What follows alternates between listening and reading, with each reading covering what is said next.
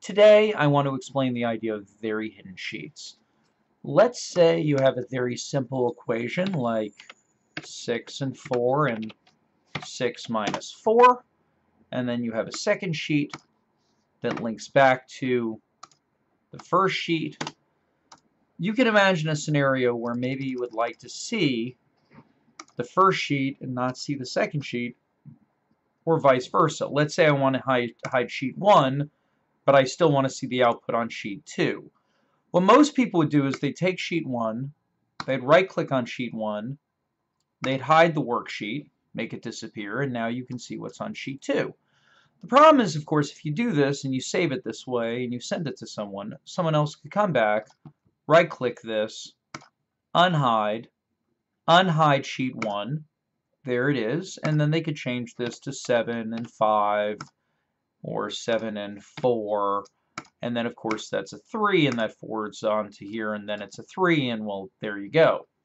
Now the question is then how do I make the first sheet disappear so you can see the information on sheet 2 but you don't see how it was calculated on sheet 1.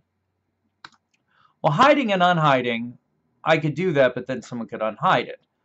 If I want to make a sheet very hidden I go to view code it pops up the Visual Basic Editor. I could either do this by right-clicking on a tab and choosing View Code, or alternately, I could get to that screen by going to the Developer tab and choosing Visual Basic. If you don't have the Developer tab, it's turned off by default.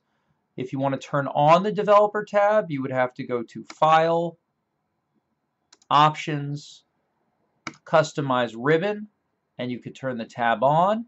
But whether or not you get there by going to Developer and clicking Visual Basic or right-clicking down here under a sheet, the point is you get to the Visual Basic Editor. Back here it says there's something called a VBA project and this project has a number of objects and in the objects we have a number of sheets.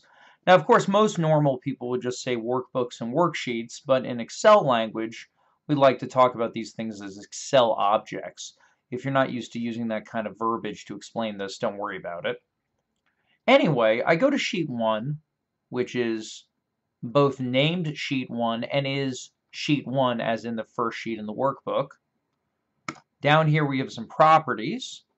If I look at the properties of sheet 1, all the way at the bottom, it says that it's visible. And under visibility, I have a few options. I have visible, hidden, and my favorite, very hidden. If I choose very hidden, and I close the Visual Basic Editor, sheet 1 is now entirely disappeared. I cannot unhide it. If I go to the cell in question where it was feeding into, I could, of course, draw some arrows like trace precedents it shows here that it's coming from sheet 1 E11. If I double click on this to bring up the go to screen and I say let's try going there, it doesn't do anything. In other words, once you've made a sheet very hidden, there's no way to get to it, but whatever it's calculating and feeding into other worksheets, it'll still work properly. So now we have a sheet that's very hidden. Now if someone wanted to unhide it, you can't just go here and unhide it. The sheet is now, again, quote, very hidden. If you want to get there, you go to View Code, you find the object in question, you go to the visibility, you change it back to visible or hidden, and there she is, sheet 1. The sheet is now visible. If I had made it just plain old hidden, I could have unhidden it by, again, right-clicking down here and choosing unhide. That is how you make sheets very hidden.